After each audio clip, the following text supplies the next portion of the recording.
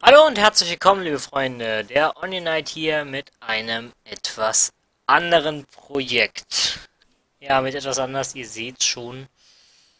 Ähm, Minecraft und dann gleich gemoddet und zwar Tackit. Die letzten Tage habe ich mich sehr, sehr intensiv mit diesem Modpack beschäftigt. Ich habe auch Videos gesehen. Ähm, ja, und ich bin ein bisschen geflasht davon, muss ich ganz ehrlich zugeben. Und äh, jetzt will ich es einfach selbst spielen. Und ihr seht schon, ich habe hier ja ein paar Maps, die ich äh, äh, nicht brauche. Egal, wir machen einfach eine neue. Wir machen eine äh, neue Welt.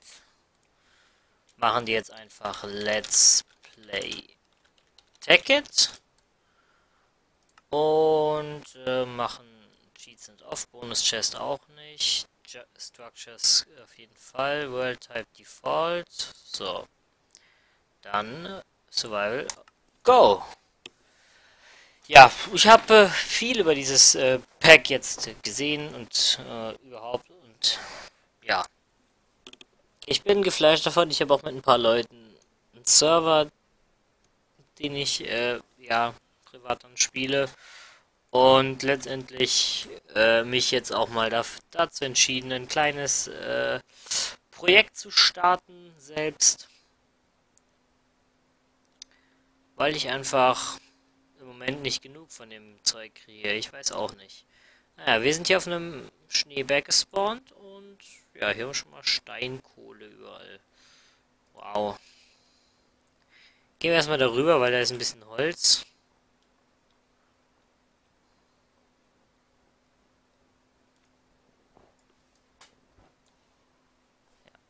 Ist vorhanden, ist gut.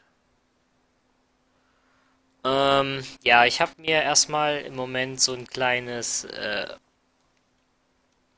Overlay überlegt.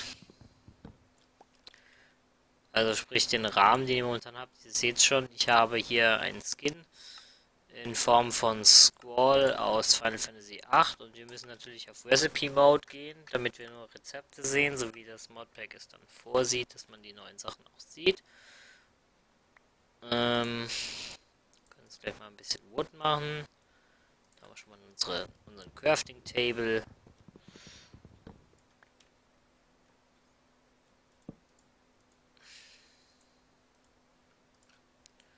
So, Sticks. Doch bevor es richtig losgeht, brauchen wir noch ein Stück Holz, damit ich mir eine Axt machen kann. So. Das war eins zu viel. So. Ähm. Dann brauchen wir noch eine Spitzhacke. So. Denn es ist unter anderem in diesem Modpack der Timbermod drinne. Wer den nicht kennt, ähm, das ist einfach so, ich brauche jetzt mit der Axt nur ein Holzstück abzuschlagen und der ganze Baum wird abgebaut. So. Das erleichtert schon mal das Holzsammeln. So, wir können hier schon mal einen neuen Baum pflanzen. Das machen wir mit dem hier dann auch. Dauert natürlich ein bisschen mit der Holzaxt.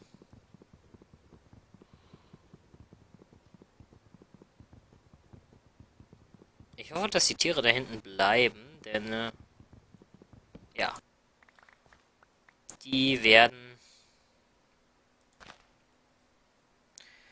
relativ lustig. Äh, relativ lustig, ja. Die werden ja ähm, gebrauchen können, um uns was zu essen zu machen. Nehmen wir den großen hier noch, dann haben wir noch eine ordentliche Ladung Holz für den Anfang und dann reicht er dann erst Und ja, bis wir ein bisschen was von den äh, Modpacks sehen, müssen wir eigentlich erstmal ein bisschen äh, Standardgedöns machen hier in Minecraft. Äh, das wäre dann unter anderem ja einfach einen Unterschlupf bauen, äh, ein bisschen meinen, dass wir unsere ersten Erze bekommen und dann ja lernen wir langsam die Mods dann kennen und da gibt es ein paar richtig coole Sachen. Ich kenne längst noch nicht alles. Ich muss noch viel entdecken. Ich habe auch vieles nur gezeigt bekommen, wo ich selbst noch nicht ausprobiert habe. Äh, so, ich pflanze hier einfach noch mal ein paar Bäume. Ich denke, ich werde so hier in der Gegend dann einfach erstmal bleiben, ohne groß wegzugehen. Ähm... Jetzt einfach mal noch ein paar Planks machen. So, am besten ein Stack. Aus der Hälfte. So, machen wir mal ein paar Sticks. Dass wir die auch haben. Und dann nehme ich die Box mal wieder mit. Die Tiere lasse ich jetzt mal noch in Ruhe. Und dann würde ich sagen... Obwohl, nee, eigentlich können wir die Tiere mitnehmen. Also eine Berglandschaft ist gar nicht mal so schlecht. Oh, ich kann gleich mal was nachschauen. Und zwar will ich als erstes eine, äh, relativ bald sogar eine Mining Turtle bauen. Da braucht man eine, okay, da braucht man eine Diamantspitzhacke und eine Turtle. Und die Turtle macht man mit Eisen, einem Computer und einer Chest. Ähm, der Computer, also brauche ich Redstone. Okay, gut, also wir müssen, ihr seht schon, wir müssen erstmal meinen. Das ist, also das Schwein. Lassen die überhaupt was droppen, wenn ich die so töte? Ja. Beef. Ja, damit. Ich töte dich. Mit Fleisch. Komm her. Blöde Kuh. Ein Stück Leder. Ich habe das Leder aus ihr rausgeschlagen mit meinen Fäusten. Das ist ein Stück Fleisch. So. Falls mir jetzt irgendwelche Vegetarier oder Tierseelsorger oder sonst was äh, zuschauen, dann möchte ich mich natürlich in aller Form dafür entschuldigen, was ich gerade getan habe. Aber es gibt viele Dinge in Minecraft, die man in Minecraft hinnimmt, die man in der realen Welt nicht hinnehmen würde. Oh ja, hier sieht es mal so ein bisschen Cave-mäßig aus. Ich gehe aber nochmal dahinter zu den Bergen, um ehrlich zu sein. Und hier haben wir noch ein Schweinchen, das lasse ich jetzt wirklich mal in Ruhe. Denn da hinten in den Bergen, da war eigentlich ganz easy Kohle zu sehen. Und ähm, am Anfang werden wir die Kohle noch brauchen. Später dann äh, nicht mehr. Wenn ihr äh, Vorschläge habt äh, bezüglich meines Layouts im Stream, Stream sage ich schon hier in dem ähm, Videos, ihr sagt, äh, das ganze Rahmen drumherum, das brauche ich nicht, das will ich nicht. Es stört beim Gucken, weil ich dann im Vollbild bin und neben immer so ein Standbild habe quasi. Dann, dann haut's einfach mal raus und äh, ja. Ansonsten habe ich nicht vor, irgendwas zu schneiden, äh, Aktionen mäßig. Also wenn ich jetzt sage, ich baue jetzt halt, oder ich bin eine Folge nur in der Mine drin. Äh, ich bin eigentlich so eher der Typ, der zeigt dann alles. Und ähm, sagt er mal, okay, da war jetzt wirklich ein bisschen wenig zu sehen allgemein, dann äh, haue ich vielleicht auch mal zwei Videos raus, sofern ich sie habe. Ich mache das hier eigentlich gerade aus Laune heraus, weil ich jetzt ultra Bock auf dieses Modpack habe. Ähm, deswegen, äh, ja, schauen wir mal, wie weit wir kommen, bis ich sage, boah, Tech it, nee, geh mal weg damit, ich kann es nicht mehr sehen. Äh, schauen wir mal. Ich baue hier gerade noch ein bisschen Stein ab damit wir auch von unserem Holz wegkommen, relativ schnell. Weil mit Holz kann man ja eigentlich fast gar nichts anfangen.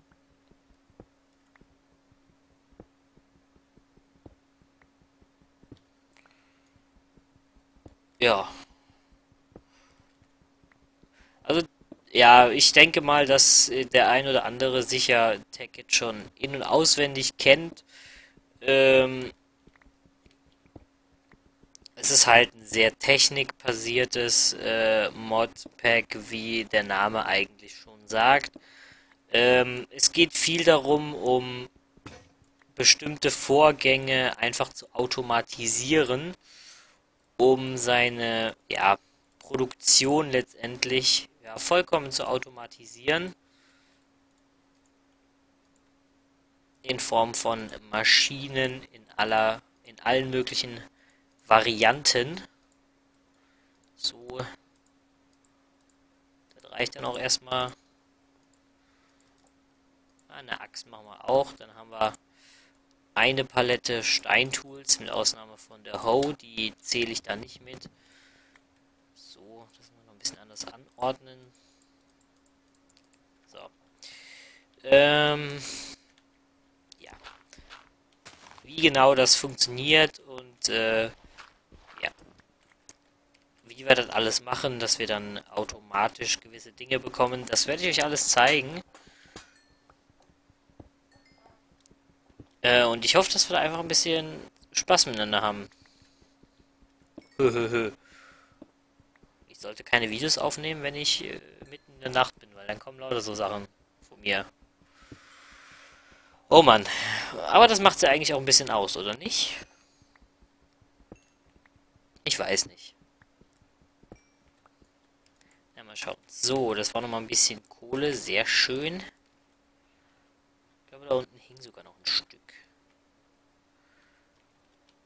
In den Bergen kann man eigentlich gut was machen. Und direkt irgendwo in so einen Berg graben. Ah ja, da haben wir schon mal ein Erz, was von einem Mod eingefügt wurde, nämlich Kupfer. Das können wir mit Stein abbauen. Wunderbar. So, jetzt wird es auch, glaube ich, schon langsam dunkel. Wir sollten mal gucken, wo wir äh, einen Unterschlupf machen. Leute, guckt euch das mal an hier. Die diese Landschaft, ne? Ja, es wird dunkel, das heißt, ich sollte mich vielleicht einfach mal in den Berg hier reingraben und da drinnen bleiben.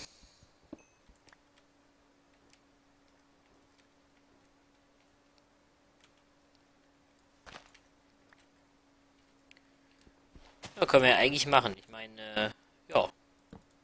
Hoppala. Ist ja nichts Verbotenes dran da. Sollen wir... Ja, bis ich mich entschieden habe, da äh, kommt schon der nächste Creeper um die Ecke und sprengt mich in die Luft. Ne, das machen wir. Ich grab mich jetzt einfach hier rein. So, das gibt die Tür. Fertig aus. So, zu und wir sind sicher. So, dann packe ich jetzt einfach mal hier die Box rein. Das sind, glaube ich, zwei. Dann machen wir hier zwei. Für den Moment seht ihr jetzt mal kurz nichts, bis ich mir Licht gemacht habe.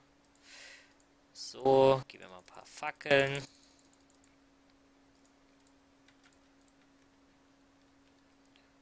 So, so. Ähm, auf jeden Fall mindestens mal drei hoch, wenn nicht sogar vier. Machen wir vier hoch oder ja, machen wir noch ein, komm. Sieht schöner aus dann. Erstmal so einen obligatorischen Raum, so 0815 mäßig. Und wie gesagt, das erste, was wir eigentlich machen, ist uns nach unten graben und schnell wie möglich ein paar Erze zusammensuchen.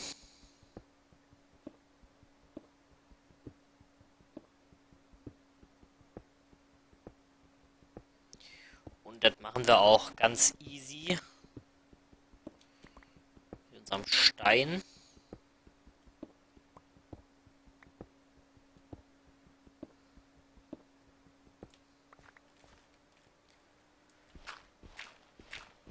Ähm, ja.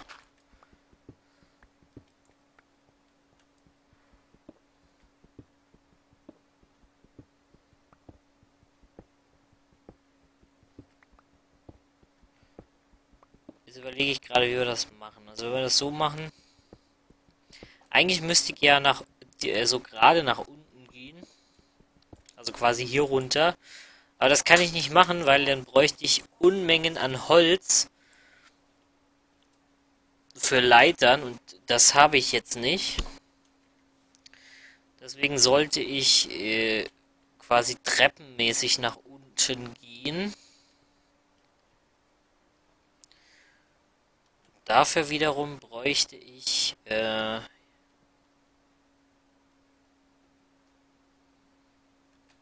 gewissen Platz.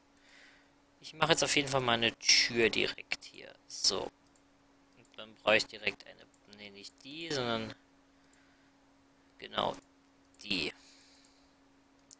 Die Druckplatte. Oh, die Tür von außen anbringen und hier die Druckplatte hin. So, genau. Mm, der Berg ist ja schon relativ breit, ne? Man kann das ja hier ein bisschen aufstocken mit Erde, dann kann man, beziehungsweise mit irgendeinem Material, was ich dann haben will. Und dann kann man das ja eigentlich noch erweitern, weil wenn ich das hier jetzt aufschaufel, dann bin ich eigentlich bei mir im Haus, ne? Ja, sozusagen.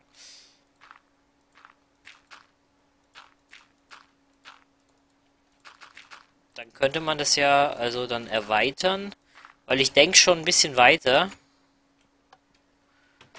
dass man auch quasi in der Richtung noch einen Raum machen kann. Ähm, wenn ich das jetzt mal so als Eingangsraum lasse, würde ich sagen, äh, Holter die Polter. Machen wir uns nochmal so ein, so ein kleineres Räumchen.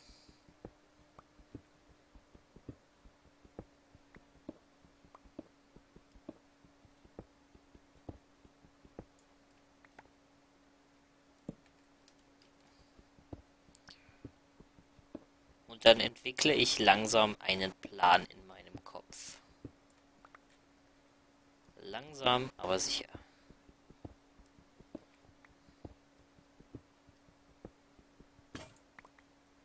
Das war unsere erste Steinspitzhacke. Die hat sich verabschiedet. War dich gekannt zu haben.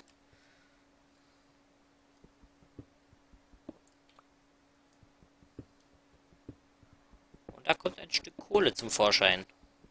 Und noch mehr.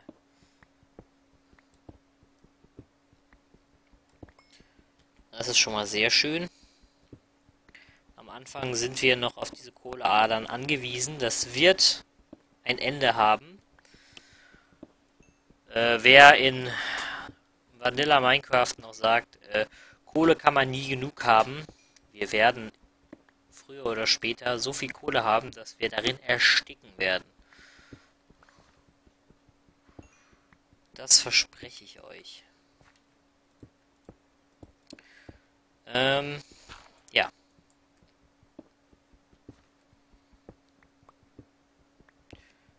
Bisschen Stein hier noch abkloppen. Dann nehmen wir hier die Kohle mit.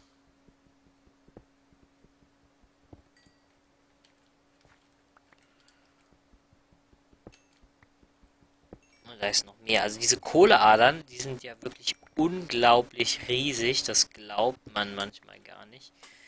Wie viel Kohle man bekommt, das ist abartig. So. Und ich würde sagen, wir machen das hier so in einem Dreierpaket jetzt. Dass wir uns da langsam nach unten voran bewegen.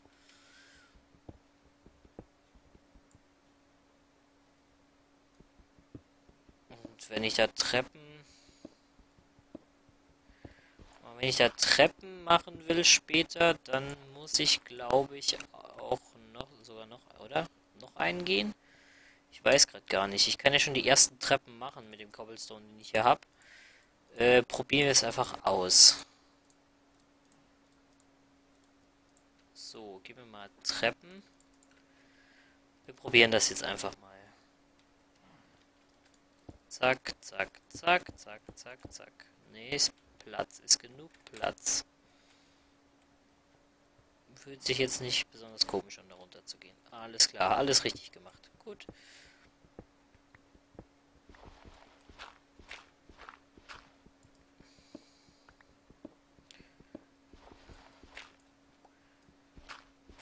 So. Das ist halt, ich sag mal, das Leid äh, äh, des beginnenden Minecrafts, aber Das wird sich äh, später ändern.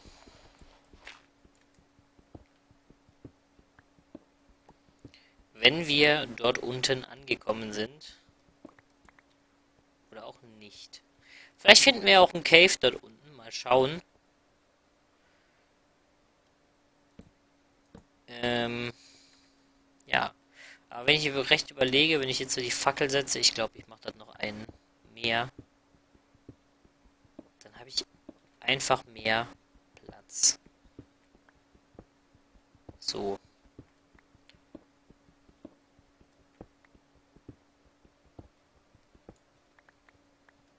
Okay, das war's. Sofern erstmal äh, der erste Part ist zu Ende. Die Zeit ist um. Ja, ich hoffe, ihr hattet Spaß daran oder werdet Spaß haben hier. Ähm, ja, und ich freue mich darauf, euch viele Dinge zeigen zu können, sobald wir uns etwas angeeignet haben. Ich bedanke mich fürs Zusehen, freue mich aufs nächste Mal. Bis dahin, macht's gut, euer Onion. Ciao, ciao.